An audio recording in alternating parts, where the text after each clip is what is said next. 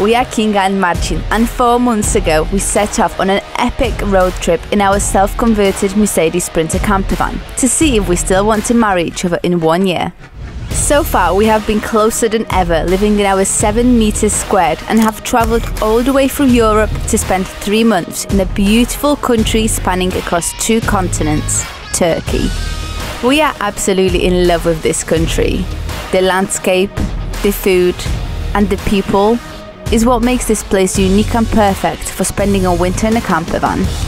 From the amazing streets of Istanbul to the best Turkish cuisine in Gaziantep, the sky blue waters of the Mediterranean Sea, beautiful towns surrounded by epic mountains, bazaars with the most tasteful fruit, and most importantly, the freedom to live life on our own terms is what made our trip the best thing we have ever experienced in our lives.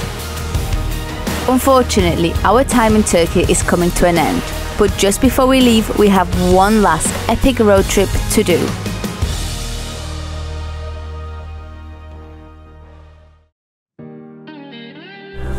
We are back in Antalya and we've just filmed a video called How to Hire a Camper Van in Turkey.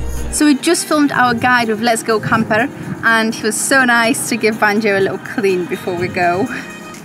It's a guide that we're going to put out in a few weeks but now we're going to go and explore Antalya for the last time before we leave Turkey for good. And we are blessed with this gorgeous sunshine today. Last time we were leaving he was pouring it down so it's like, I'm very excited to, to be here again. What was you excited about?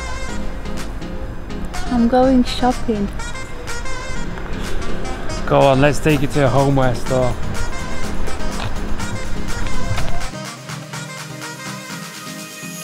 I've got a new nickname for you. Mm. It's Homeware Simpson.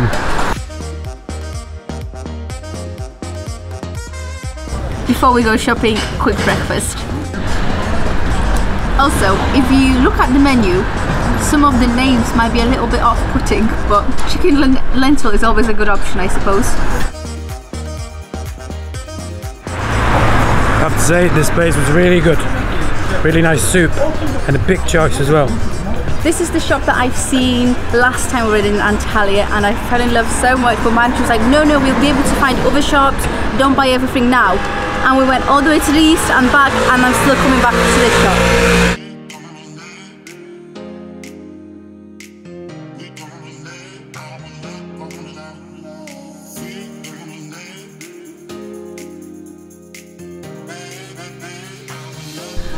What have you done? I have spent a bare fraction of what I would spend in Poland or in the UK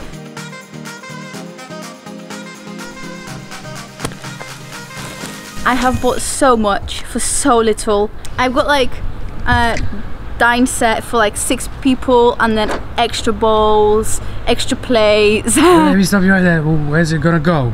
I'm just having a hard time fitting it in with all the plumbing. I think we need to get rid of the plumbing.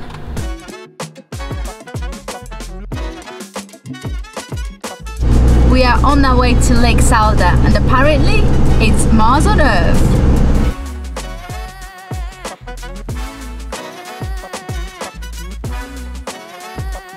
Sometimes when we drive, the goal is simply to get somewhere. But this time we decided to stop often and enjoy every minute.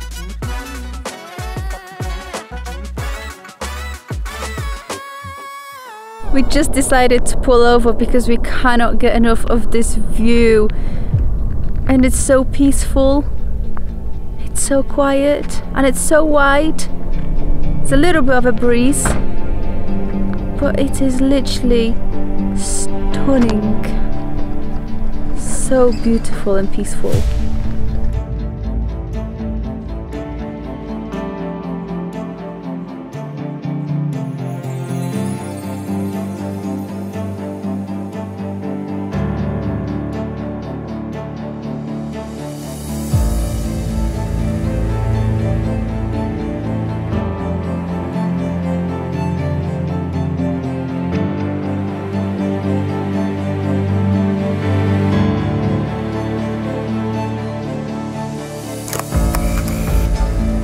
This is Salda Lake, a place often referred to as the Maldives of Turkey because of striking visual similarities between the water and the sand. We were lucky to visit this place off season and feel its calmness. With its pristine white shores and turquoise coloured water, Lake Salda has gained popularity in recent years. The lake, with waters rich in magnesium, and clay, are beneficial for certain skin disease such as yeast infection and acne. Lake Salda recently hit the headlines when NASA mentioned it as a place that shares the characteristics of a Mars crater. Unfortunately, this body of water in western Turkey may soon join other famous lakes that are drying up.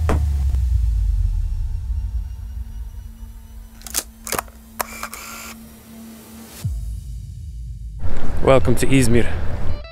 Izmir is a large coastal city which was founded by the Greeks, taken over by the Romans, and rebuilt by the Ottoman Empire.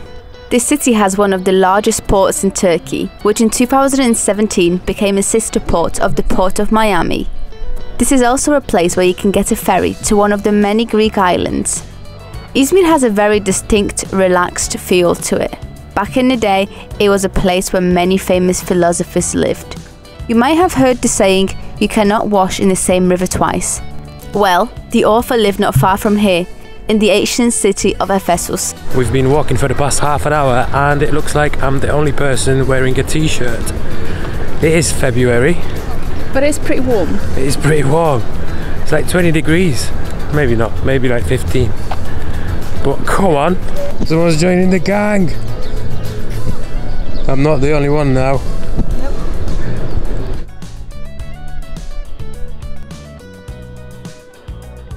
What makes this city shine is the shopping district full of restaurants, bars, and fast food places.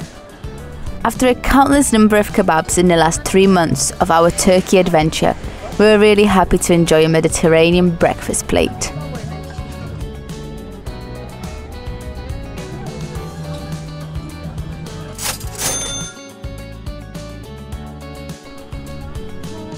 In terms of religion, Turks are 90% Muslim, with Catholic religion not recognized officially. This is quite a rare sight in Turkey. This is a Catholic church. There are, however, a few Catholic churches and cathedrals spread across Turkey, with this small church being one of them. Next, we had to visit the local bazaar, a place where you can buy freshly made food, house decorations, and local products whilst listening to a local band play traditional Turkish music. It is definitely similar to other bazaars in major Turkish cities, but it's worth visiting to lose yourself in the local culture and speak to very hospitable Turks.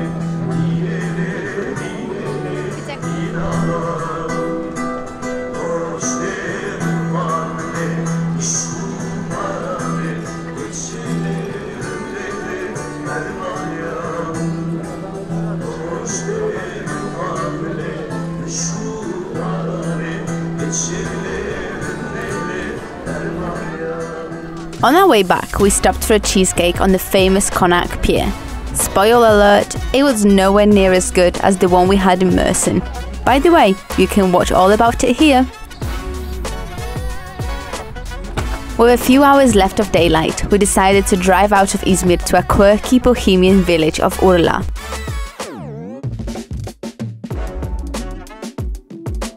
As it was the weekend, there was a local market on in the old town, where I've seen some of the nicest handmade homeware ever there.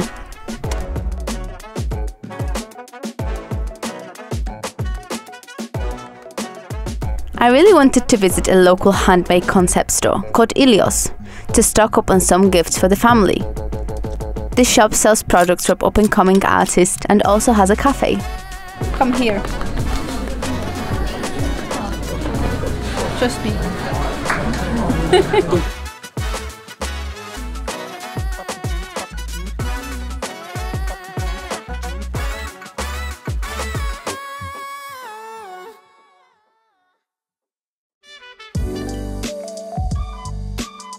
Next morning, we woke up on the outskirts of a beautiful little coastal town, Cesme.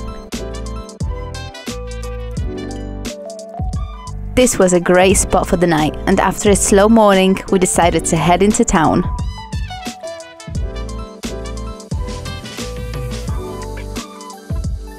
Cesme is a holiday village popular with yacht owners, with the marina being the centre of the town. The place definitely has a Greek feel to it because of the architecture and is definitely the highlight of the Cesme Peninsula. So cute here. The town is also home to one of Turkey's most visited castles with more than 1 million visitors every year.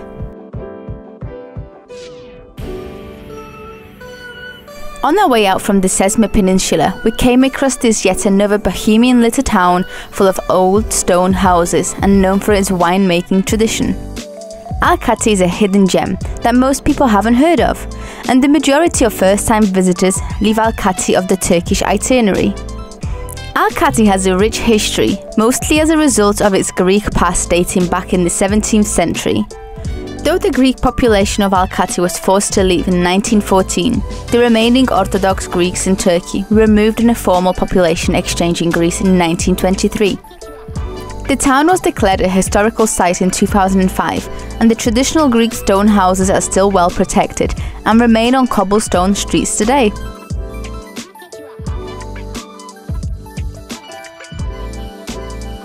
Done quite a lot this weekend, and this is our spot for the night good night. And the time has finally come. After almost three months in Turkey, it's time to go to Greece, and we are pretty excited. Very. Before we left Turkey, we took this boat in Canakkale, which took us to the European side of Turkey in less than 20 minutes. The ferry cost us 125 Turkish lira.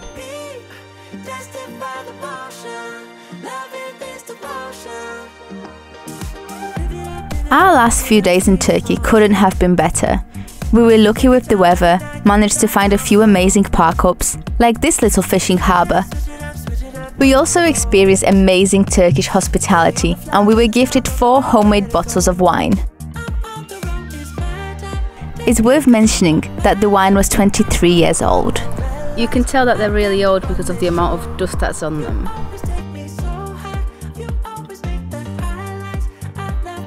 What a beautiful sunset to end this beautiful journey through Turkey.